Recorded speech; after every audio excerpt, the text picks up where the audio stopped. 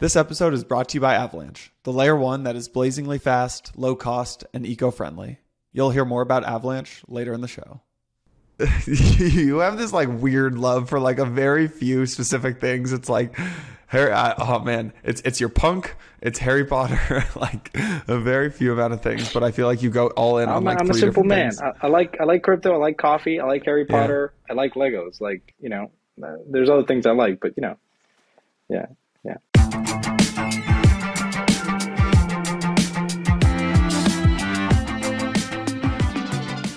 How you doing, sir? Well, doing all right. You know, it's sort of like uh, I don't know. I, I I was really excited about this week. I think there was a lot of hype, and and and then it was just like it was like lackluster. I don't know. I don't, I don't know what I feel. I, I I maybe it's sort of I've grown numb to volatility, or just this a lot of thinking mind share going into macro, and I don't know. I don't know. How, how are you feeling? That was the most depressing. That was the most depressing "How you doing?" I've heard you ever say, which might be the most indicative thing of a bear market that I've ever heard. Is the tone in Santi's voice? I know, I know, I have, a, I know, I have bear sweater. I like bear sweaters. Does not mean we're in a bear market. And maybe I, I guess since I started candidly wearing bear sweaters, market has been down like now thirty percent or so. But you know, I, I'm very excited. There's a lot to talk about. Um, but before I There go is. there, before we go there, how are you doing? Uh, I'm doing well. I'm doing well. It's it's been a good week. It's been kind of an exhausting week. So I'm at this. I'm in week number two uh, out of this four week trip with Mike. We're bunkered down uh, at a house in kind of the middle of uh, America, and it's sunny out here, and we're golfing and playing tennis and hiking and things like that. Uh, but we're also just cranking. Right, we're starting work at like you know 5.30 6 a.m i will admit mike usually beats me to the desk by like 10 minutes which he uh, continues to remind me throughout the day. Um, but that does mean that he makes the coffee so that's a good thing. Uh, but we had, we had three new people start this week. Um, really exciting. We've got a couple new people a couple job offers a couple folks signed this week as well who start in a couple weeks. So we just hit uh, but big news for you sir. We just hit 40 people full time at blockworks now. Who's talking about? That doesn't scream like a bear market to me, if you ask me. Doesn't scream bear market so Nope. should we get into it i'm like nervous for this episode Let's do it. All right. Um, There's a lot to talk about, admittedly. I'm gonna. Uh, I, I feel like I'm gonna say some things that you don't like uh, this time around. First one. Uh, I don't know if you have you been following this Daniel Sesta stuff and uh, um, uh, Michael Patryn, who uh, you know on on Twitter is just Sifu, co-founder Quadriga. You been following this? I was catching up to it. Or I have, yeah. I've been paying attention. It's like watching. I mean, I don't watch a lot of TV, but you know, crypto Twitter sometimes provides free entertainment and a good one at that. And this is just uh, this is pr- this is prime time. CSI Miami is over. CSI Crypto Twitter is back. Um, here's the here's the thought here. So uh, actually, let me provide some context. So there's some stuff coming out of um, uh, of Twitter. There's a, a couple of great folks who've been doing some research. Um, the kind of one line takeaway is that there's this guy Zero X Sifu, um, who is the CFO of Wonderland, and there's some uh, revelations uh, that he is that that is actually Michael Patryn, who is the co-founder of Quadriga CX. I'm going to give a little bit of detail here. This, in my my take, is this is seeming pretty bad, but also you don't want to jump to conclusions. We don't have all the info. I'm just going to lay out the facts and we can discuss. So, for those who are unfamiliar with Quadriga, uh, it's the Canadian exchange that collapsed in 2019 after the founder Gerald Cotten uh, basically disappeared. Um, I think supposedly he died with his body cremated before anyone had a chance to verify his death. Pretty pretty sketchy, right? It was in India. I think there was someone said that he died of irritable bowel syndrome, which doesn't really happen. Anyways, 169 bucks, 169 million just kind of poofed, right? And it was the biggest uh, exchange in Canada at the time. And uh, people back then came after Michael Patryn, who is the other co-founder of Quadriga, because of his past as a scammer. Right? He's this convicted felon from the U.S. who moved to Canada, changed his name. His name used to be Omar Dhanani. Then it was uh, Michael Patryn, uh, and basically Canadians back then figured out that uh, Patryn slash Omer, his old name, uh, or now on Twitter known as Sifu, had more ownership of the hacked exchange than this dead founder, right? So they really, like, they essentially ran this Ponzi with the exchange after most people, nearly everyone lost their funds and couldn't withdraw.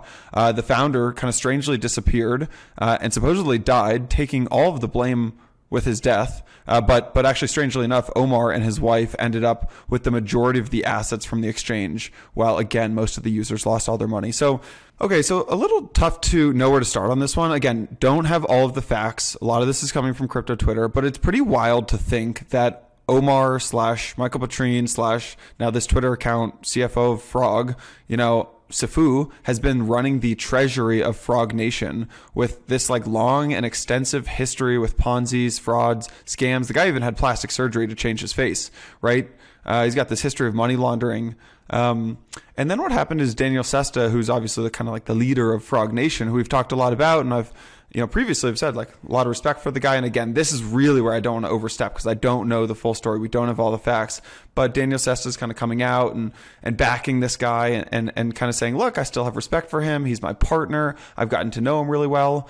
Uh, and then that's where this extends out and the rabbit hole goes a little deeper, right? So now if you think that Daniel Sesta is involved with Sifu and Michael Patryn, Sesta is associated with Wonderland, obviously, like Time, Abracadabra, Popsicle Finance. Uh, he recently had a proposal. There was a proposal to take over leadership of Sushi, uh, and that went through, right?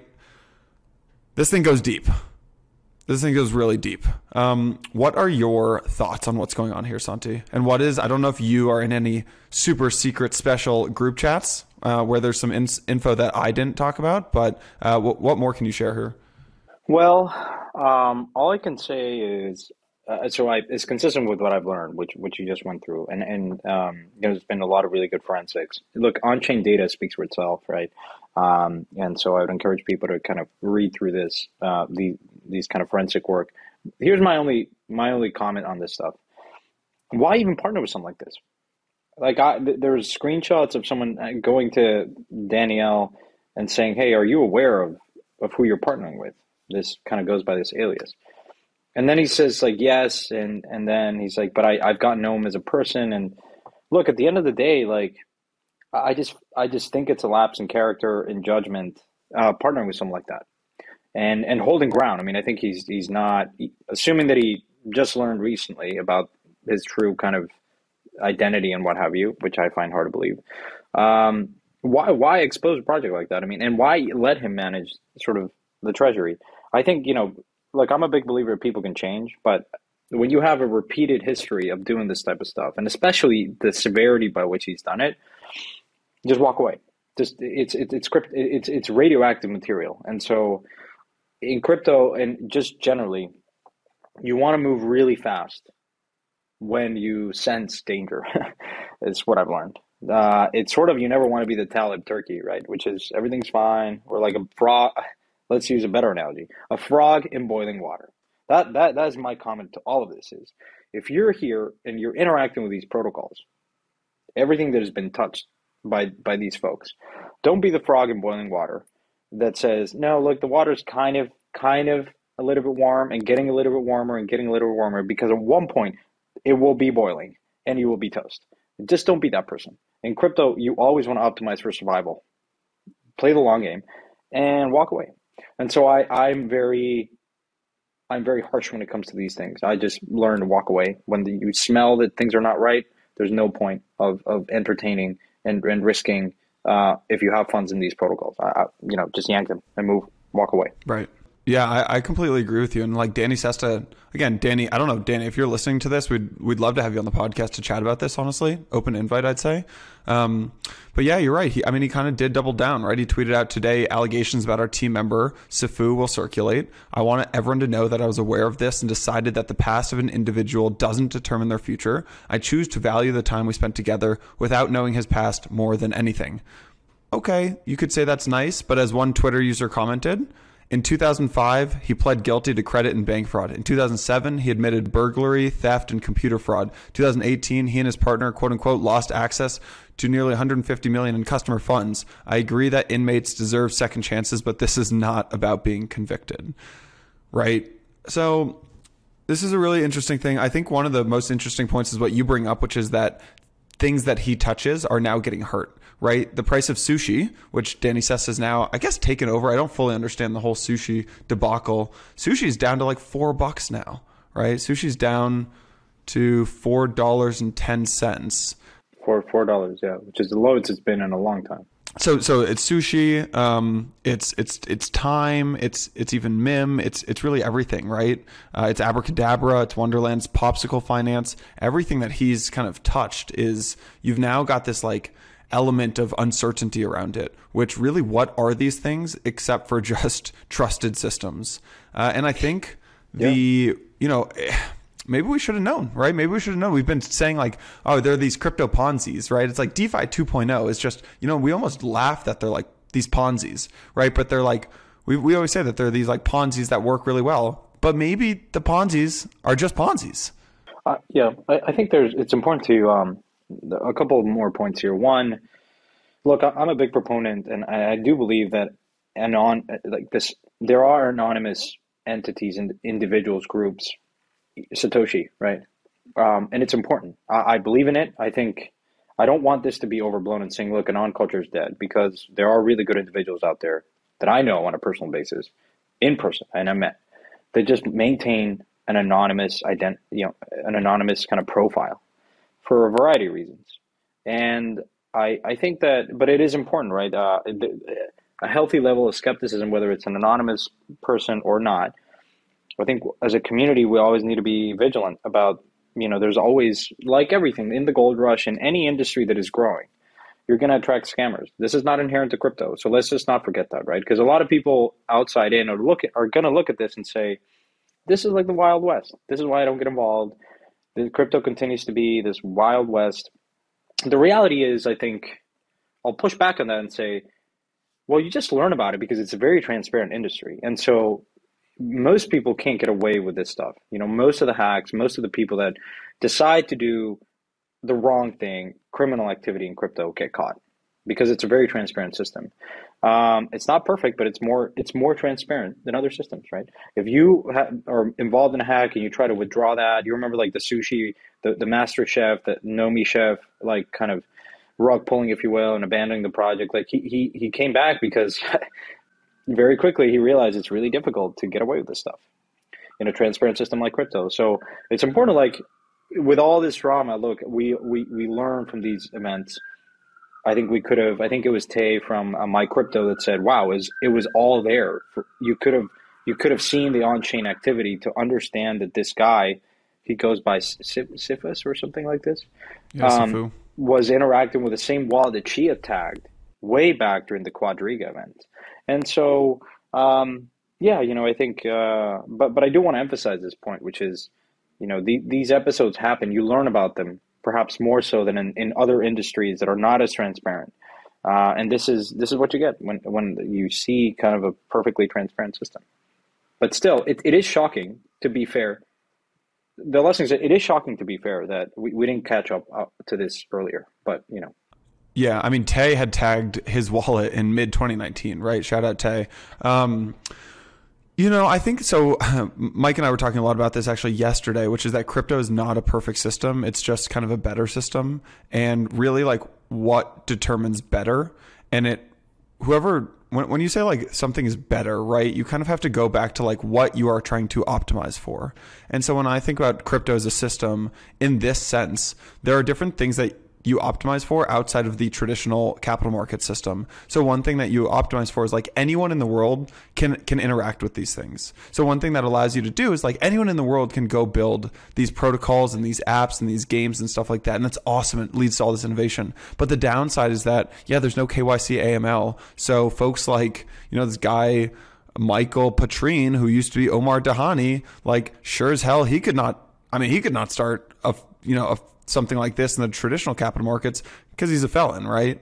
Um, and so there, but you're, but, but like that's not bad because it's just a trade off. And then the next part of this is the, I think we will continue to see things like this forever, right? Because that, but like it, but that doesn't matter. That's fine. I think what we have to get better at as an industry is understanding that like is taking advantage of the fact that this is a completely transparent system. So I mean, if you look at people are like kind of freaking out about this, to me that's uh, this is a really good example of like this open, transparent financial system, right? This could have gone on for 10 to 20 years in TradFi. And people say that's absurd. Well, if you think that's that that's absurd, go look at Bernie Madoff, who literally did run a massive Ponzi scheme for two decades, right?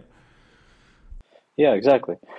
Like the, the the point that you bring up is a really good one, which is something that I I think needs to be optimized for in crypto. A big area of opportunity is building a better reputation system. Whether you're anonymous or not, I think the ability. So the same way that people are staking their assets for these proof of stake systems in order to validate, and you a validator has a reputation because everything's on chain. Your uptime. These are metrics that you look at if you're staking your assets with someone. Well, in a similar manner, like I feel that um, there is this possibility, and there are a lot of projects building on on-chain reputation, uh, meaning like the actual person, right? And Project so you don't necessarily Galaxy. need to know who the person is, but exactly. And so I think with NFTs, you can construct an identity where you know me, Jason, you know the kind of work that I do. We've worked together. You you vouch for me in that context, and you have skin in the game. If I do something wrong, you're on the hook too. And so these are ways that we can create communities and scale them out and create a better reputation system to to mitigate these type of things, right? Um, because you're absolutely right. In the real world, if this individual wanted to manage funds, he would have never been able to do that because um, regulatory agencies like the SEC and FINRA, and I forget which ones exactly, or in Canada, but but it wouldn't have been possible given the level of disclosures. Like it, it, they ask these type of questions, right? Uh, but there are ways around that in crypto. We just we're just early, and I think we you know that is the the positive spin to all of this is that now I think more focus should be put on maybe perhaps for any identi- for any person working on these projects well it'd be nice to have kind of a reputation system where people can vouch. Projects vouching for other projects and founders whether you're on or not and you don't want to doc i'm not i'm not i'm not suggesting we should all dox ourselves. I'm not i'm not going there. I'm just saying staking your reputation and and staking you know and, and vouching for the quality of work for others um, in a way that has skin in the game and, and, and consequences. All right. So here, here, here, last take on this, and then we can move on. This is an example. It seems like we are in a bear market, which is not a bad thing. Everyone freaks out when I say this. I think we're starting to be in a bit of a bear market, but with a shallow bottom that will recover quickly right? I think people in crypto are really mm. scarred, and you say bear market, and they cover their ears and they hide under their desk, and they say, no, no, no, no, no, two year bear market, I'm freaking out. No, no, no, there are other such things as bear markets. Uh, when you look at market cycles, especially in the last three, four, five, six years, uh, cycles have accelerated basically over time. Mm-hmm. Uh, and especially with the Fed coming in in March 2020, that basically accelerated cycles. So like if you look at the March 2020 bottom, even even in equities, like that lasted for like three days, right? The bottom was in for like three days, and then we came back up. And the reason is be- is because the Fed stepped in. And so I think when you look at bear markets, like it doesn't have to have this long, drawn out 18 month, 24 month bear market where the thing slides down 80%. But it, but I will say there are some characteristics of bear markets that I'm starting to see. A, just sentiment on crypto Twitter feels very bearish. B, the amount of money coming into the space is not doing anything to prop this stuff up. We'll talk about fundraisers in a second, but the prices are still sliding. And then C, most importantly, the most characteristic thing of bear markets is that things start to unravel, right? When I look at things unraveling, I'm looking when I when I look at this whole frog stuff and Daniel Sesta and like and uh, and whatever the, Michael Patryn. This is this is an unraveling of a project, right? Those kind of things don't happen when prices are up only. Another one, I mean, we can talk about Solana as well. Like, there's some stuff going on with Solana uh, that's like not horrible, but like the Solana congestion is kind of a bit of a disaster and right uh, and and we can talk about that if you if, if if you disagree there but like that's an unraveling that happens in a bear market. Uh, there i mean the the list kind of goes on. Like the the curve wars are starting to unravel a little bit as people are mass withdrawing mim out of the curve pools. Like that's an unraveling that you see in a bear market. Um, and so that is my biggest takeaway of all of this yeah, like look, I don't. Uh, the first two points I definitely agree with. The, the, the third one of the unraveling, I I sort of think like to be fair, like something like Solana is is sort of it's just it's growing pains of of of, of adoption. now, like it's not going to be a smooth up only, right? You have these sequential kind of waves of adoption, and I almost think that they look like sinusoidal curves, like you know you have like these sequential curves, right? And at moments, it does feel like things slow down. It does feel like you know the user experience get degraded in Ethereum. It gets degraded in Solana because it gets a lot of traction.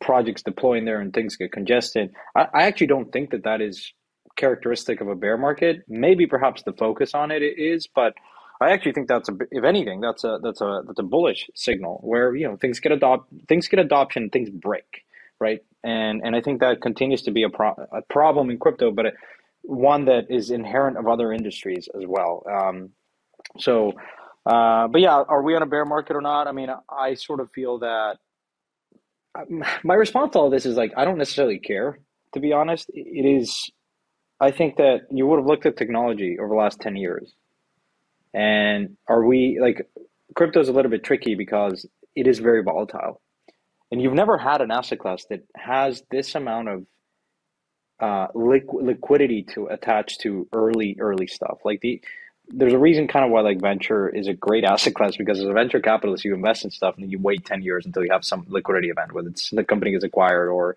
it IPOs. And it's, it's fantastic. You sleep well at night.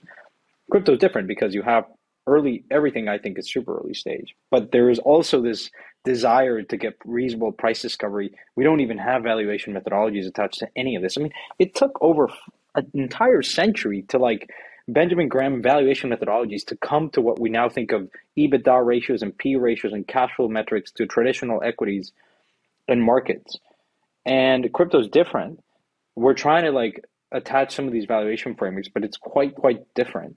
And so all of this is going on and it's chaotic, right? And so I think it's really hard to look at something and say, yeah, for all intents and purposes, you are in a correction territory. The Nasdaq's down 10% of T's, but okay, that is correction. Technically, I understand that but you know, price to me is not the leading indicator. Um, it is it is one metric for sure, and it's important because it fuels a lot of things in DeFi specifically and, and speculation.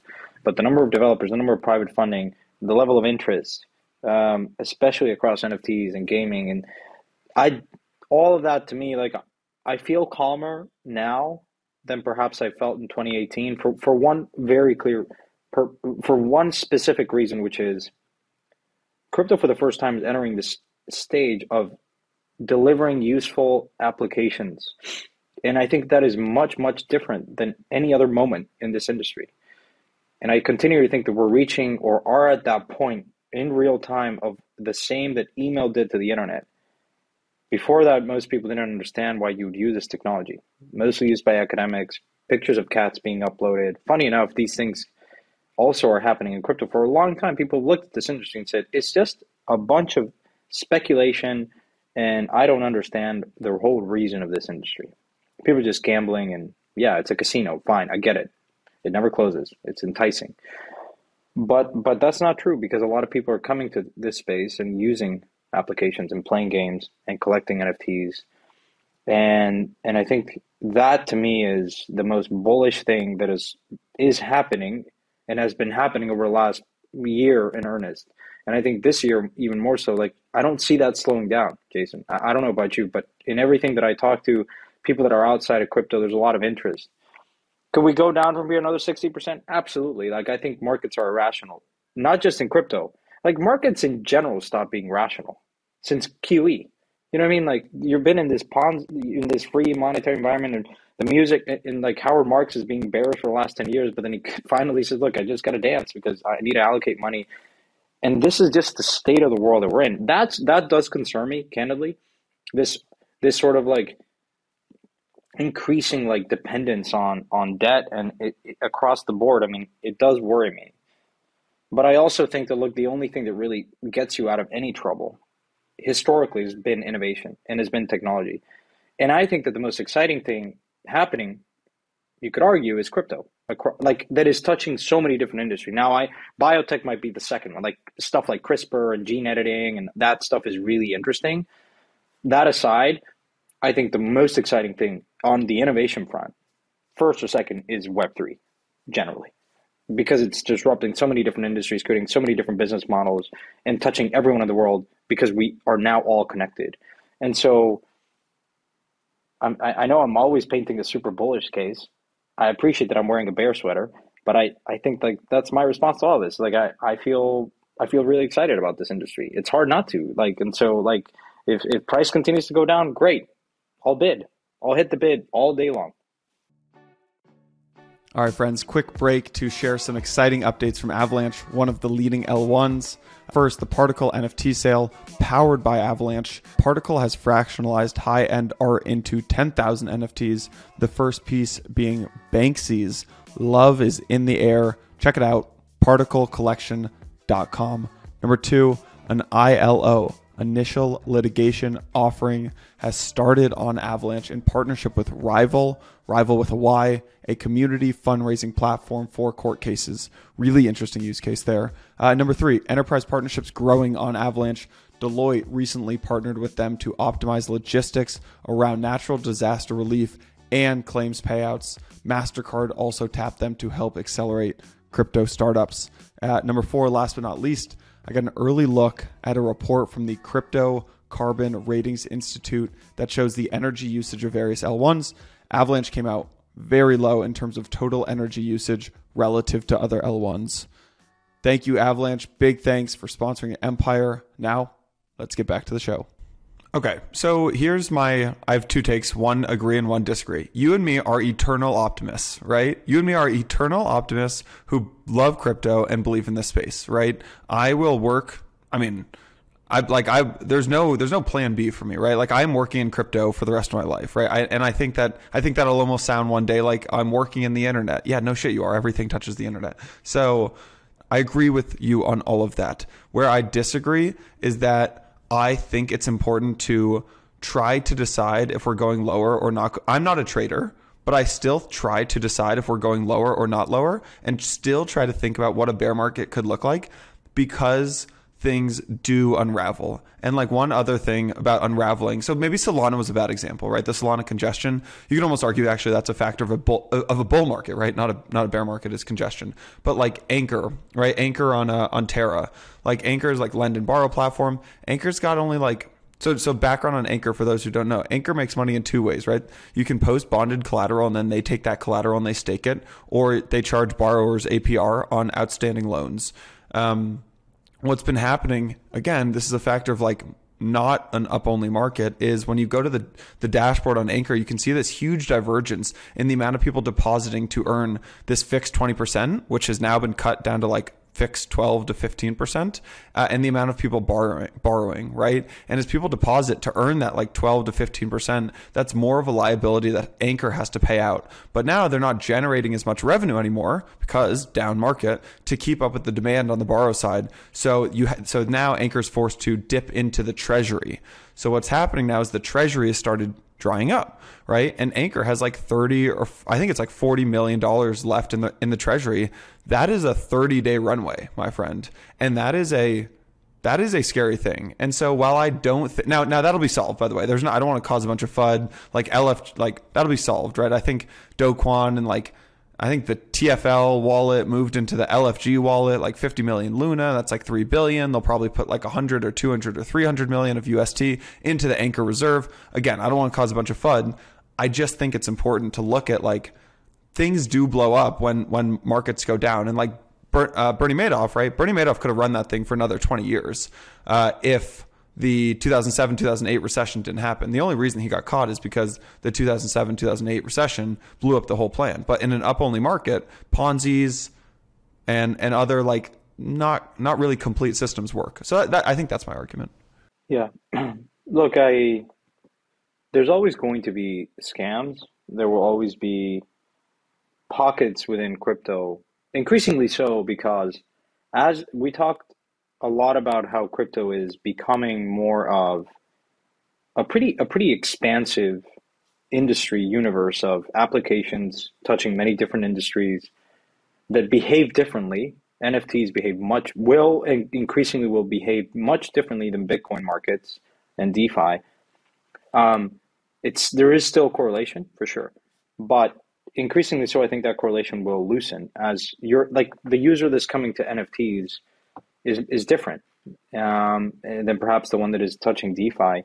And look, it's still relatively early. The point there historically has been the same market participants in the 2017 crash. It was just the same people, you know, recycling capital, and it's sort of that that musical chair is it stopped right, and it unwound and then unraveled in a very drastic way. Assets collapsed 90 percent, 80 percent.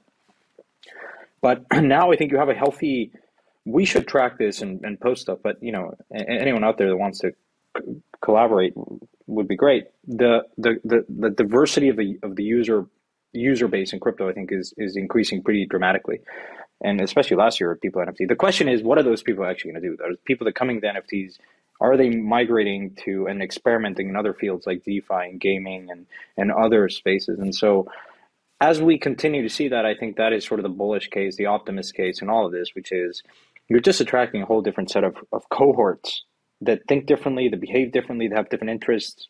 Um, and I think ultimately like creates a, a much more healthy market. Uh, I'm not suggesting it's up only, but I am suggesting that you're still, it, this is very much a secular trend. And so, yeah, there will be ebbs and flows for sure. But that I also, it's, it's a lot of noise because again, you go back to this idea that some of these markets are trying to approximate some price discovery, but I think it's going to take years to get some reasonable price discovery on any of this stuff. Bitcoin's just slightly farther farthest along, but still, you know, people are still. The, the thing is, like as you said in one episode very eloquently, none of this industry has like one CMO. There's no like one marketing department for crypto that says this is the narrative, this is the meme, let's go.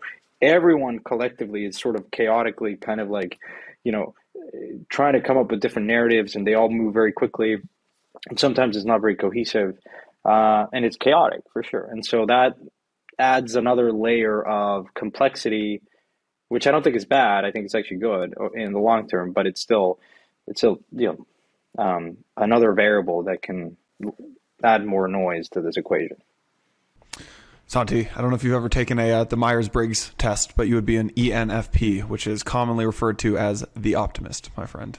Uh, let's. it's hard not to. I love it. Let's get into um I think something that was kind of quiet just be, uh, this week because there's so much other stuff going on is actually a bill. I find regulation dreadfully boring because just like you, I am an optimist and I think things will get sorted out and worked through. But there's actually a bill this week that I found pretty uh, pretty absurd that I think is important to talk about. Big shout out to Jerry Brito uh, and the team over at Coin Center, who's just helped I think a lot of the industry think through this bill, and I think uh, just in general has done like such amazing work. And so some, some of the info here that I'm going to share is pulled from Coin Center. Uh, there's a new bill that would hand Treasury basically a blank check to ban crypto at exchanges. And it's really not just crypto, actually. There's this provision in provision in the America Competes Act would allow Treasury to secretly prohibit any kind of transaction it deems a concern without any public notice or input. Again, that's not just scary for crypto. That's that's scary for uh, that's scary for our uh, just privacy, right? And so the so-called uh, special measures provision, which is proposed by uh, Jim Himes, would essentially give the Treasury Secretary unchecked and un, uh, and unilateral power to ban exchanges and other financial institutions from engaging in crypto transactions. So how do they do this? Uh, it goes back to the Bank Secrecy Act, which we talk about a lot. Uh, the Bank Secrecy Act basically allows the secretary to identify a primary money laundering concern and take quote unquote special measures to A, require financial institutions to report information on the concern, and B, prohibit uh, financial institutions from maintaining accounts related to the concern. I'm going to tie this back to Uniswap in a second, which is really interesting. The new provision does three things. One, it adds certain transmittal of funds to the list of things that can be banned by the secretary. Two, it eliminates all public notice and comment requirements. And three, eliminates the 120 day limitation for measures imposed without regulation. Concluding thing, I know I'm droning on here about regulation. If adopted into law, what this does is this provision would be a disaster. Uh, honestly, a disaster, not just for crypto, but for, for, privacy, right? And democratic public processes related to basically all financial transactions. And the reason I found this so important is this was a completely crazy exchange on Twitter that happened. Uh, Hayden Adams of Uniswap tweeted out this week JP Morgan Chase closed my bank accounts with no notice and no explanation. I know many individuals and companies who have been similarly targeted simply for working in the crypto industry. And Brian Quintenz, right, formerly, I think, commissioner of the CFTC, tweets out This is likely a shadow debanking of crypto by the Federal Reserve or US OCC bank examiners with direction from the top. If the examiner told a bank that a certain customer is too risky and the bank ended that relationship, the bank is contractually prevented from telling that customer why. This also happened to Peter McCormack about a year ago. There are many, many, many examples of friends, uh, that, some of my friends in crypto where this happens to them. This is this is not good, my friend. This is not good. Well, you know who's behind that? It's big bank lobbyists that uh, have a lot of muscle and resources. Um, yeah, no, not not ideal. A, a lot of times these bills, uh, you know, get proposed and they're good. They're, they're good to at least like introduce awareness and, and discussion. Um, but you know, a lot of times you see like a particular um, a particular congressman or member of this propose a type of bill that is heavily backed by like, you know, bank lobbyists and, and what have you. Uh, and so, uh, yeah, obviously there'll be a discussion period and, and, you know, this is not going into effect. It's important to like, you know, recognize that. It is alarming, of course, if it goes through as intended, but a lot of times they get, you know, modified or not, don't even go through. Um, but yeah, no, not ideal. Um, there is actually, uh, it will probably come out today, but the bright side of all, of all on, a, on the regulatory front at least is I was catching up with a good friend yesterday, Evan, who is at um, uh, Bison Trails now Coinbase, and Evan and I go way back. We when we were running validator nodes and staking operation, we went and tried to uh, propose a, specific uh, guidance on the taxing side of how to treat staking rewards. Um, as ordinary income or capital gains, and I think I think uh, we had a very favorable outcome, um, which we'll link hopefully in the show notes. I'll tweet about it. Um, I'm waiting for the final kind of like dossier, if you will, like you know, but it's essentially like very very favorable for the staking industry, which means you know that touches Ethereum, Tezos, like every single proof of stake network, and, and how it gets treated in the U.S. by the IRS. Which would obviously increase the participation rate of staking. You know, obviously, a big part of why you wouldn't want to stake your assets if the tax code is uncertain or if it's too cumbersome, well, you, it's sort of a, a you know it deters you from doing that. But I think that was the big impetus. This started, mind you, three years ago. Evan and I kind of went to Treasury, went to and, and, and engage a whole set of uh, people that were much more knowledgeable than us to make the case to treat staking rewards in a very favorable manner for uh, U.S. citizens. And so that that hopefully comes out. Uh, we'll link to, uh, you know, if it comes out, we'll link it in, in, the show notes. But keep an eye out for that because that's super favorable uh, for for crypto. Awesome, nicely done, sir. Thank you. Yeah, even though I'm not American, when I used to be there, I, I engaged a lot with uh, members of Congress and Senate and just try to educate them. Uh, my yeah. view is always that regulators do want to listen. You just have to, you know, spend the time and and help them understand why this technology is so powerful. Um, I'm going to actually stop talking about the markets in a second because uh, I know you want to get into some fundraising and just other exciting things, NFTs, optimistic things, as we would call it. This is the optimistic episode. Um, Matt Hougan did have a good tweet, though, which he said, I'm surprised more people in crypto aren't talking about Q4 of 2018. Thought it was an interesting analogy. Q4 of 2018 is the last time the Fed raised rates. Bitcoin fell 44% that quarter, right? The last time the Fed raised rates, Bitcoin fell 44% in a quarter, right? Uh, for what it's worth, before entering a multi year bull market. Okay. So I think there's something to be said for I mean, shout out Matt Hougan, one of the goats in our industry. He, you know, I think it's a good analogy, right? The Fed talks about raising rates or raised rates. Bitcoin falls 44%, and then we enter a multi year bull market. Um, and I think that it's important to, like you've been saying, to just zoom out and say, look, do you believe in this space over the next five to 10 years? If so, stay allocated, continue allocating dollar cost average in. And if you don't believe in it and you're just here for the uh, NFT your friend sent you, I mean, probably not a good place for you to be. That's actually really interesting. Uh, it's important. I mean, I don't want to get too much into. I don't know if people kind of truly understand like when you raise rates, it the discount rate goes up, therefore the value the valuation of these companies goes down. So so yeah, essentially like the way you if you think about how to value a company, a lot of times it's the ex a lot of it is the present value of the company some of it, a lot, a lot of it is what is the future expectation of growth of that company and cash flows it will generate, right? And you're paying some sort of multiple on expectations of growth into the future of a particular company, and you either measure that as cash flows, and then all those cash flows you you have you take the net present value of that, meaning you take a discount rate based on a number of things. One of them is the risk-free rate, which is the ten-year Treasury, because you know the U.S. and the government is the risk the riskiest thing, right? You can buy a bond, uh, a Treasury, and so people look at Treasuries because that is factors into your CAPM model or the way you kind of construct this discounted this discount rate, which is any market participant always has the opportunity cost of doing what? You can always invest in an instrument like a treasury, which is super safe, or you can invest in other things like bonds, which are reasonably safe, and then equities, which have much more, you know, risk attached to them. And so, you know, when rates go up, then inherently when you're taking a higher when the rate goes up, then the the the the, the present value of that company goes down. Ceteris paribus, meaning which I know is all things unchanged. As the discount rate goes up, the value of that stream of cash flows in perpetuity over a certain period of time that you're thinking in the future expectation are worth less, right? And so inherently, when you take all of that, then the value of that company goes down. And so that that causes a reset, obviously, in market participants. Uh, I think a lot of what is happening is I think people were just caught off guard with how the, the Fed was going to, how quickly they were going to move. I think the Fed grossly underestimated like inflation and some of these things, right? I don't think a lot of people perhaps anticipated another wave of COVID. We were kind of up and, and things were looking pretty good until Omicron. And so, anyways, all this to say is it's interesting, like how this phenomenon. Maybe, maybe what this says is okay. Maybe you see a reset. Extending this, if, if this were to happen, I'm probably saying is okay. The discount, the, the rates go up. People already factor that into their models. But the reality is, most market participants, if you look at March, like when COVID first hit, I think it was Ackman or, or one guy, and I read one. It was a really interesting podcast where he said, "Look, okay, fine. You have these moments in the market where there's a big dislocation, where market participants are caught off guard. When when people in the market are, are caught off guard, it causes this reset in valuation expectations, discount rate, all this stuff, and, and the riskiness of you know whatever.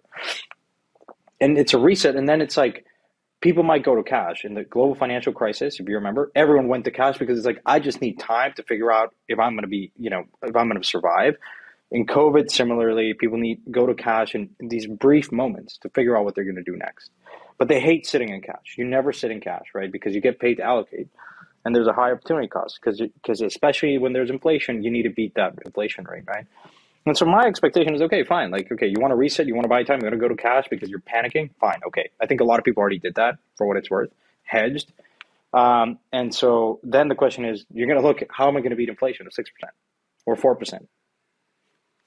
I don't know. Uh, maybe pick the industry that is growing the fastest and is going to produce the best risk adjusted returns. Uh, uh, well, over the last 10 years, I think you've realized at this point now that having some allocation of crypto is sensible because it produces really interesting Sharpe ratio dynamics and it, it construct portfolio construction. That's very much unchanged, right? And so if you still need to beat inflation, then you know, still you're still going to want to allocate to growth. I don't know. That's just my thinking. A lot of people could disagree with this. I'm not a macro expert. I don't pontificate as a macro expert, but anyways a month and a half ago, you told us that you sold all of your Bitcoin and moved a decent chunk into ETH. Um, what percent are you allocated to cash right now? Cash or cash and or stables, uh, or or you can bucket those into two different things if you see them as fundamentally different. I always like to have cash on hand to buy panic and when people are puking. So before I, I certainly drew from cash recently to, to kind of take it, you know, to buy um, more ETH um, and other assets that I like um, in my shortlist. Um, but roughly speaking, it's probably like 10, 12% in cash, maybe a little bit more. I, I just literally have it on reserve and I'm, I get paid. A, this is a nice thing, which is makes the argument of why these, these dips get bought. A lot of times in 2017, you didn't have the possibility. Like if you wanted to hedge or have cash, you had to kind of exit the system. Now you can swap for a stablecoin, deposit that stablecoin, get some yield. But the velocity of that moves pretty quickly, right? Because if you have stable, you're earning yield, which is pretty nice and decent, then you can quickly allocate and buy these dips. And so I think that's what you've kind of been seeing, which is different than 2017. And I, I, I, anecdotally, that's what I do. Yeah. Uh, you, you, you sent out a tweet two days ago that said, I'm bidding here. I don't try to time the markets. I just try to buy when I see indiscriminate selling and pain. Time the market beats timing the market. I am with you. Uh, and this is the optimist. This is again. Let's just keep going back to this word, the optimist in me. Like my bullishness actually goes up when the market crashes, which people like, no, no shot it does.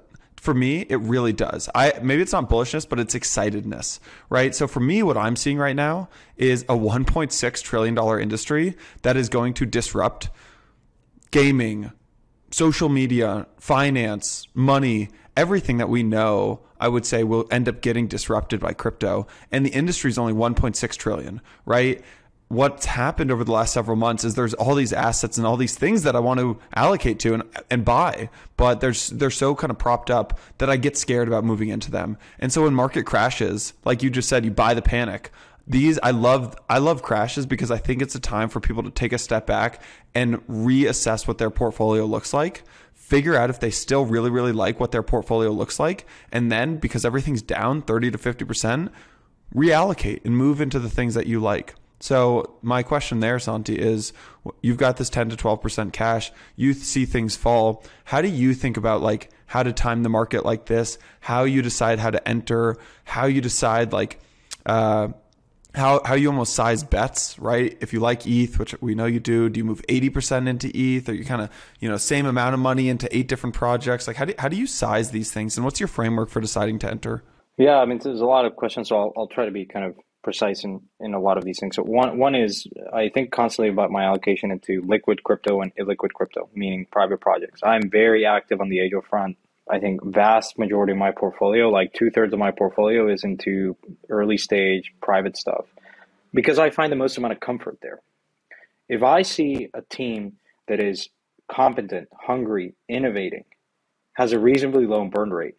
Bill Tai said this in our episode, which is fantastic, and I and I 100% agree with it. His mindset is that is the safest thing for me to park my capital in any like in any. I've always been, I I I've always believed that that is that is like the safest place to park. Now, not all bets are going to pan out. So when you think about construction, I'm very, I have many, many investments. I, I think thematically, I think I like this space. I like these themes. I try to develop an independent view of, of what I think needs to be built, hasn't been built. And then at that point, I just go and try to find the best operator or operators and make one or two or multiple bets in a particular category that I think is pretty nascent, has a lot of asymmetry. And one of them is going to pan out in venture, you have these power law returns, right? If you were early in DeFi, which were, you know, I, I was, um, it took one Aave to to make up for any other loss you could have had in your portfolio. Whereas one Synthetix being very early on DeFi. And I think I always kind of remind myself that my job is not to be right about everything. I do need to constantly be a bat. I do need to constantly like make bets on things that perhaps other people are overlooking. And that was NFTs, early like last year at some point, you know, that was gaming when Axie started to take off. And then I made a number. So when when Axie started to take off, as an example, I had an allocation to seed round pass because it was just too small and a number of things when I was a ParaFi.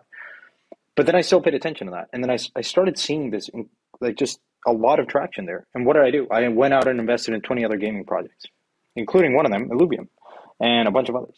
And so to me, it's like sometimes the best bets that I made are not the not trying to be like the first investing the first mover because sometimes I think first mover advantage in crypto is actually not really powerful because you have like these open source systems where code is easily forkable. So I often remind myself, okay, I'm not supposed to like maybe catch everything at the first shot, but pay attention. If you miss it, don't don't kick. I try not to like obsess about why I wasn't super early in Axie. I said, wait a minute this is just proving how big this market can be. And so I go out and make second, third bets into teams, competent teams that I think are going to go after a big category. So just in summary, I'm probably two thirds of my portfolio is illiquid. Always has been. I'm just comfortable with that. Which brings me to my third point, which is I always keep a decent amount of cash on reserve because what you don't want is when you have a liquidity in your portfolio, you want to have the ability to, you know, stay solvent, stay liquid, right?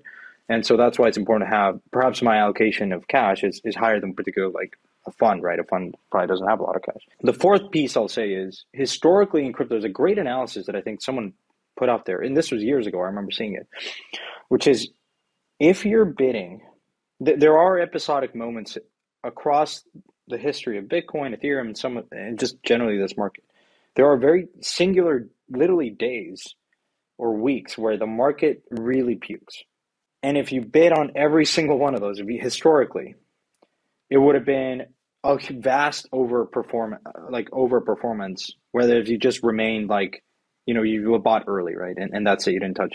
I think the market offers you these these opportunities to take advantage of if you've done the work, you've done the research, you believe in this long term. It's important to stay solvent. It's important to like you could be farming, you could be earning a steady stream of cash flow from your work or whatever, and use that in these moments where a lot of market participants are forced selling. Why? Because they get greedy. You, they use leverage. It, this it's playing with fire, right? Because this industry will continue to be very volatile. And if you understand that psychology, you know that there are a number of market participants out there that are getting too greedy. You look at funding rates go above 0.1, 0.15, 0.2. It, it literally is a ticking bomb, and so you just want to be there to hit the bid when when a vast majority of this market is going to have to force sell. And that's what I look at. I don't try to time the market, but uh, when I see people force selling assets that they like, and I know they like, and I'm talking to a lot of a, a lot of guys, and it's like, why are you selling this? I'm, I, I know their wallet. It's like, why are you selling it? Well, because I'm going to get liquidated otherwise. And I say, boom, that's when I hit the bid.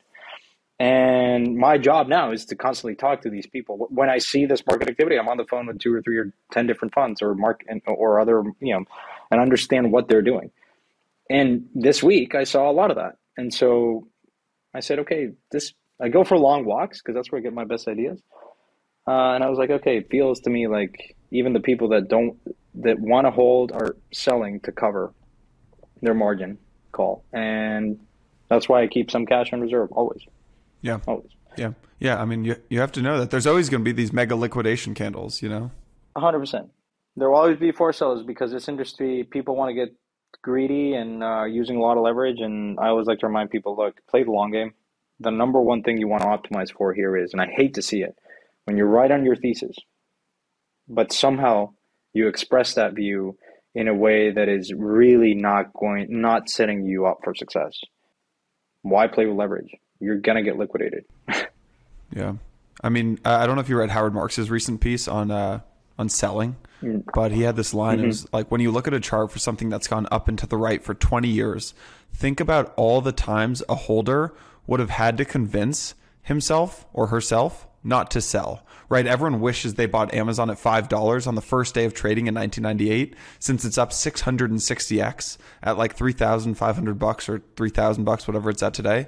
But who would have continued to hold when the stock hit $85 in 1999, up 17x in less than two years? You think you would have continued holding after it was up 17x? Or how about on the downside, right? Who among those would have held after and avoided panicking in 2001 as the price fell 93% to $6 and who wouldn't have sold by late 2015 when it hit 600 up 100x right but anyone who sold at 600 captured only the first 18% of the overall rise from that low right so a lot of this game is pick your theses pick your companies pick your projects pick your entrepreneurs and just hold and when the price goes down and folks get liquidated and there's forced selling that's your time to double down it's all right. I was tweeting about this in the bear market uh, where I was had more time to write, and you zoom out on these charts of Google, Amazon, and a lot of people kind of thought, as you just said, thought I missed this. And it's important to zoom out, and and I think again look at things that we've talked about in this podcast that I think give you a fresh vantage point into how things are actually being built and will ex- develop. It's hard to think that like the number of developers entering these systems from top top developers in Silicon Valley have a huge opportunity cost. They're entering the space. They're going to build. That probably takes two or three years to kind of really fully express itself in meaningful products. And the pace of innovation in this space continues to increase because of it's open source and so it's composable and so that is just means faster rate of innovation. Um, and so look, I think by and large, like I totally agree with you. Like it, you know, I don't want to just say take a passive approach and just buy Bitcoin, buy Ethereum, buy some, buy the major ones. But there are ways to kind of express this. Like you can buy a composite index. A bit. You know, talk about Matt Hougan Like I think Bitwise and uh, Grayscale. Not some of these products are not easy to access. I appreciate that. There are set protocol. There's I think a number of things that like I think it's Marc Andreessen that you get asked if you get if you get 10 million as one of the best VC investors out there, I think, and founders like yeah, he said, if you got like $10 million right now, where would you put them? He's like, just go long the S&P 500, literally. Because, you know, and, and I think that's, you know, coming from one of the best investors in, in, in tech, there's something there, right? And so if you buy a basket of broad-based exposure of crypto that is rebalancing, rebalancing, that's a key, because the S&P rebalances, right? constantly. The composition of the S&P 500 has changed so much dramatically over the last 80 years, and especially over the last 20 years, right? There was no technology in the basket like not too long ago, but now it does, right? And so maybe you didn't believe in technology, but just by virtue of being long the S&P, you would have had exposure to technology without having to, without to your point, you may have missed Amazon specific names.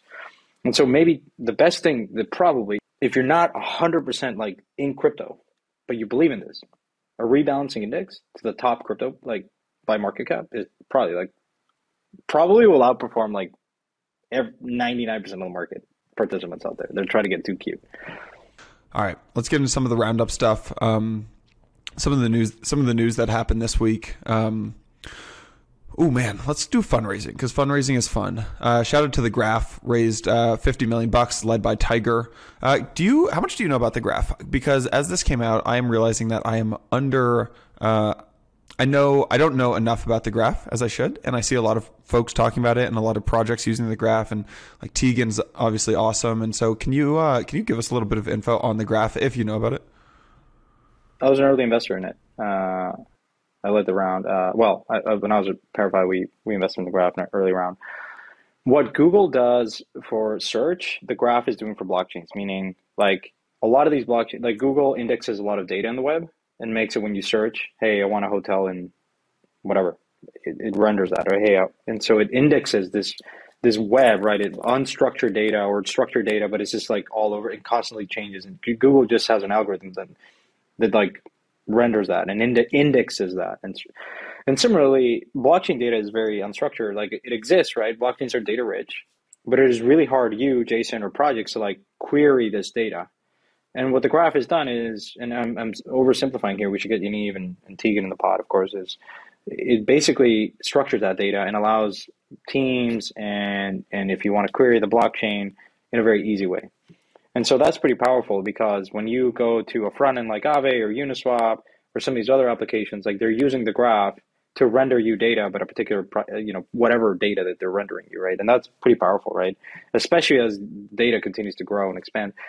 I invested in it because I remember um, as DeFi sort of was taking off, a lot of DeFi projects, like a lot of their front ends kept going down, and there were days where it was going down. I was like, why, why is this happening? They're like, like I don't know the graph. Like, it, they were, invariably everyone was using the graph, and it was like, wow, this is super powerful, kind of like layer of the stack, right? To help every all these applications being built on top to access this data, and so. Um, that's kind of simplistically. I always kind of the analogy is the graph. Google uh, Google does for Web two. The graph does for Web three. Yeah, yeah. It, it, it almost seems a, is it a little bit like what Nansen's trying to build, but Nansen's doing it from more of like a consumer's perspective. Kind of. I think I don't know if Nansen's actually using the graph. To be fair, I think uh, the graph might be like a, a layer below. That. A layer below. Yeah. Yeah. Yeah. yeah. Okay. Um, yeah. All right. Ne- next, uh, a couple big fundraisers. Uh, ConsenSys is raising at a $6.5 billion valuation, double uh, their last valuation.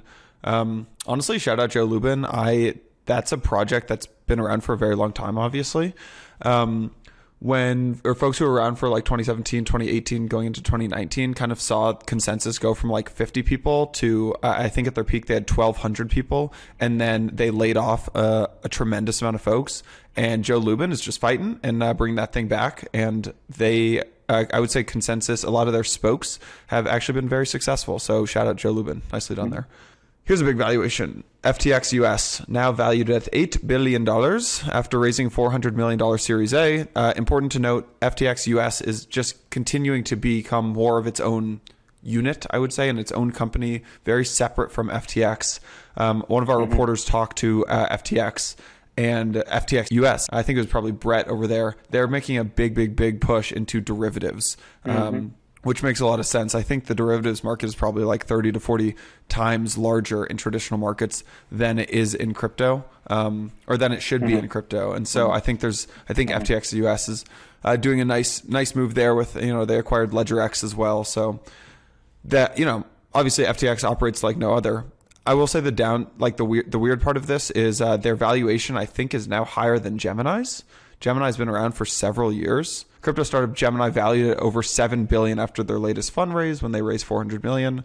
So they both raised 400 million, but FTX US is valued at 8 billion versus Gemini's 7 billion. Um, that feels like either Gemini's undervalued or FTX US is overvalued, but who am I to say? Fireblocks, uh, big shout out to Fireblocks, Michael Shaulov and team. They are, uh, I'm really biased. They've like been a big supporter of Blockworks for quite a while, but I think their team has just done amazing. Uh, they just raised a big chunk of change, $550 million at an $8 billion valuation. They now have $45 billion uh, under custody, 600% revenue growth, eight times uh, the 8x client growth. They're now securing over 15% of daily crypto volumes. They are building a freaking global crypto infrastructure juggernaut over there. So big shout out to um, to Fireblocks. Did you guys use Fireblocks over there at uh, at ParaFi? Mm-hmm. We were actually like one of the early beta testers to help them like help them um, deploy and like build uh, like the way to like interact on chain and DeFi, like farming and all this stuff. Because obviously we were super active in in these strategies, and so uh, yeah, no, I I think it's one of the better, if not one of, if not the best kind of solution out there for for complicated and easy kind of like secure infrastructure for funds. So. Yeah. Yeah, and and just for folks who don't know the Fireblocks business, yeah, like settlement on crypto rails for institutions can be kind of messy, right? Bitcoin block times are every 10 minutes, uh, ETH is every like 10 to 15 seconds. I think it's 13 seconds, and this creates these big confirmation delays for institutions, right? Like if you send 10 million bucks, how do you know your counterparty has actually sent you the 10 million dollars in like BTC back before the block is finalized? And so what Fireblocks actually did is they built their own settlement network, which allows the institutions to have this instant confirmation once transactions uh, over any blockchains once you know once they're signed or sent. Uh, it's kind of like a Swift for crypto almost, which has this really really powerful flywheel. Uh, I think the most interesting part of this, this is all a lot of this data is from James Ho um, over at Altimeter. Who posted a thread on Fireblocks? One of their fastest growing new products is DeFi with 25% customer interaction or uh, customer adoption which through Fireblocks, this is interesting. I'm sure you. This sounds like you helped them kind of innovate on this stuff. We were, we were. I think uh, we were one of the first. It's really cool. I mean, I institutions can interact with DeFi protocols through Fireblocks, right? Natively through Fireblocks' platform with their pre-built integrations with Aave and Compound and Curve and Uniswap, and then also through the Fireblocks DeFi API uh, or through their browser extension, which is really really cool. Uh, Blockdaemon raised 207 mil at a valuation of 3.25 billion. Uh, again, led by Tiger Global. I think also Sapphire Ventures, also participation from SoftBank, um, Matrix, uh, Galaxy. I think joined the cap table as well. All right, those are those are the fun little fundraisers. The big fundraiser of the week. I don't know if this is leaked. Was this leaked? Pleaser DAO, 69 mil. No, wait. Um, well, it hasn't. It hasn't. Uh, the well, block you know, got this, I think. Yeah, I think they got the deck that uh, we had put together, and it, it. We're in the process. Let's just put it that way. Um, but as you know, like as early in Pleaser DAO, I'm, I'm, in the board, and so um, yeah, it's it's the most iconic. Um, we have probably the most iconic collection, um, and and we will build a, not only the most iconic kind of internet culture collection, but just the best collection, full stop. Like that's our ambition. So uh, yeah, we're looking for good partners. Uh, but they look, um, can neither can confirm I? nor deny that. That's. that's can I? Um, I have some questions about Pleaser DAO, and and I want to ask about the about the investment. Who? How do you become a part of Pleaser DAO? Is it invite only? How much money do you need to get in? Like, can someone in our who listens to the podcast become part of Pleaser DAO, or or it's like this more exclusive? You need like a million bucks to get in, type of thing. No, it's a great question. I think the the the it was formed when a bunch of us wanted to bid and buy the Uniswap V2 video from People Pleaser, which is one of the best kind of digitally native artists out there. And, and you know, we all kind of wanted it until we said, well, instead of outbidding each other, because otherwise one is going to get it, we just banded together. And initially we were like a group of 15 or so. Um, and then, of course, the Snowden piece, the Tor piece. So every sequential kind of piece that we were buying, in moments like that, we needed to raise a little more money to buy the piece. Like the Snowden was much more expensive than the Tor piece, and then we bought Wu Tang and a bunch of Doge meme. And then in those moments, we we raised a little bit of more capital. The first contribution was relatively small. I mean, it was it was actually we bought People Pleaser's video for like five hundred fifty thousand, I think, at the time, worth of ETH. Now, of course, mm, I, I it's still a lot of money, I guess. Um, but um, the short answer is we we we are prioritizing obviously artists and collectors. Um, the application it's it's been like episodic ad hoc when we're bidding on pieces and if we need more capital like we go out and do that um, but look a big part of the push now is our whole mantra is philosophy is to acquire pieces to please like literally to just to make sure that we are a safe eh, place to buy these things that you know the pub you know with an aim towards you know having it publicly accessible right instead of the hands of a private collector right uh, and so part of our trajectory, it hasn't been easy, right? Like Flamingo DAO, some of these other organizations are also guarded for, for obvious reasons. Um, but I think, yeah, we, we, it's not, there's not like a process to join. I think we, we haven't inducted a member in a long time, but we, we are thinking about that and ways to involve the community. Obviously we fractionalized Doge and that was a big part of like fractionalizing a piece that is in my mind, one of the most iconic in our collection and make it accessible to the public we did the free Ross DAO, which was obviously supporting a lot of people believe in, in Ross Ulbricht, I think, or um, in helping his effort. Um, and so those are kind of experiments to involve more of the community. We obviously are very pro community, and so we want to, but it's just taking us time. Like everything in crypto, like we, we we need to get this right, and it's an important collection. And are you in it because like this is like kind of an art collective, or are you planning on, like will you end up making money from this as the value of the art goes up? Like, what is the uh, kind of goal here? I guess I'd say it is a for-profit um, enterprise, uh, or you know, DAO, I guess. Um, but I'll tell you why I'm interested because I want to support, and I want this to become what the Medici's did in Florence to support and be patrons of artists and be a, a, a, a create a platform for for this exchange of knowledge and ideas expressed through art, I think we have an opportunity to do that uh, for NFTs, and that's very powerful. And I want that. I want to support artists. I want to support anyone out there that has. It's super powerful to see someone like People Pleaser and others that I excels, that are brilliant at what they do. And in the Web two world, it wouldn't have been discovered because there's gatekeepers and there's auctions and galleries and all this bullshit. Now I think NFTs are super powerful because anyone can deploy, anyone can be discovered. Now, I want to be that place to support and commission art from these people and support them in that journey. And so that's why I like this because what I've appreciated, I'm not an art connoisseur by any stretch of the imagination. I just like stuff that I that I like, you know, that I, I don't plan on ever selling. Um, and it's awesome. And I think I realized that when I was bidding on the Snowden NFT, I said, and the wiki I bought the Wikipedia NFT. Like talk about like for me, okay, Wikipedia for me was so iconic. Like and whether it's worth whatever, I just I just wanted to get it because it speaks to me. And I think what I've appreciated is the art world is is pretty interesting because it's it's a lot about it, it buys you some you know you, I think a lot of like folks back in the day like you go to you go to the Met there's a JP Morgan collection there's a lot of these people like we're patrons and contribute a piece of culture to the world, and you can go visit it in museums. And I think that's powerful, right? Uh, it, it gets you influence. I think the optimist in me says if we do this right, we can actually have a lot of influence and in a good way to promote the values of crypto, Web3, openness, transparency, privacy, the right to privacy. Like these are the things that we bought, right? Snowden, um, the Tor Foundation piece, Wikipedia. This is promoting core values of crypto that permeate into culture. And I think that's what we want to do. And and that's sort of like why I'm so excited. And I spent a big chunk of my time in, in Pleaser DAO. Nice. Very cool.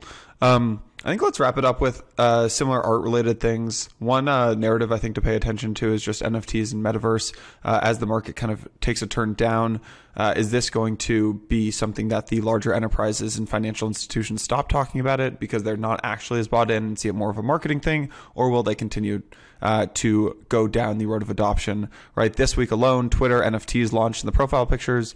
Uh, it was announced that YouTube is branching into NFTs. You can catch that story on Blockworks. Uh, and then I think Reddit is also getting into NFTs as well. Uh, pretty quietly, I would say NBA Top Shots and uh, the NFTs of NBA Top Shots have again pretty quietly surged like 70 or 80 percent in the last 30 days. Um, not much talk about that, at least on my timeline. Uh, and then on the metaverse side of things, Uh, this was a cool one. The Brooklyn Nets filed trademarks to become the first NBA team to join the metaverse.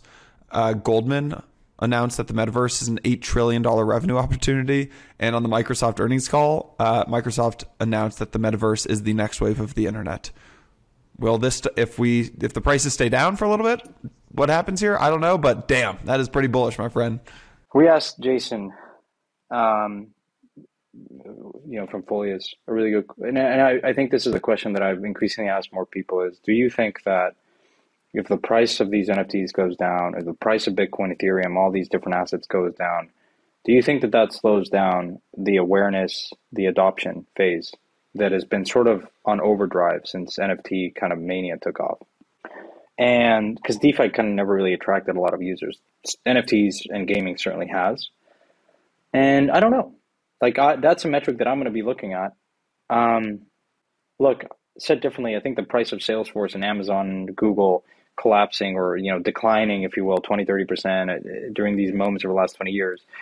I think people started using email and started using smartphones and and consumed it and put stress on the network and and required capex into cellular towers and you know I, I sort of think that we're in that stage and so I don't know it'd be interesting a lot the, the, the takeaway that I want to impress on people is I think this market is increasingly becoming less sensitive to just pure speculation and entering a stage which is really interesting of adopt usage because it's delivering applications that are delivering a faster, better, cheaper 10x experience to what you do, or sometimes you don't even have that experience. Talk about Jambo, which is going to be a great episode launching later, probably next week, right? About just building the Web3 super app in a place places in Africa that don't have any services, and you're leapfrogging all that infrastructure. And so I think that that's let's not forget that because yeah, in 2017 I would have told yeah, it's all speculation. It's all yeah, we'll build it. We need to raise all this capital. Fine, and yeah, you would have seen a path. Yeah, prices come down, right? In an environment people are more sensitive and rates go up. Fine, perfect. But now, GameFi is not going away. NFTs are not going away. People just realizing they open a door, they see their closet physically. they're like, I have a lot of shit. I collect a lot of shit the digital identity to spend more time in in the in the internet online because yeah that's where you are right? And you realize that there's a way now to differentiate online and create meaningful experiences that you own that you actually own whether it's nfts or game or gaming or just an asset that represents and speaks to you. And that's super powerful. Like like that's just we're so early. But hey what am I say? We could be down another 40% next week and we'll still be here and we'll still be recording these. So we're not going away. Not That's what I promised you. We're not going away. Um, all right. I've got, if you've made it this far, I've got two things to share with you. One is we've got a new speaker at Permissionless, speaking of the metaverse. JP Morgan's global head of the metaverse, Christine Moy, uh, has just joined us. And yes, JP Morgan has someone whose title is global head of the metaverse. I freaking love it. Uh, and then two, wow. Santi mentioned Jambo, Jambo, Jambo. We've got an episode with uh, Jambo CEO and uh, co-founder coming out in two weeks. Next week is Jason K. Uh, big insights into uh, China and the markets. Episodes after that, we've got Tarun and Tom Schmidt from Dragonfly. 3LAU talking music NFTs. Travis Kling talking about the markets. Amy Wu on gaming. Haseeb Qureshi and Avichal Garg uh, talking about just markets, venture in general. Justin Kan previously founded Twitch. Kanav, CEO of Jump Jump Crypto. Jim Bianco, Jay Clayton, Kevin O'Leary, Ilya, the founder of Near, Gabby on YGG, Li Jin and Jesse Walden on the creator economy.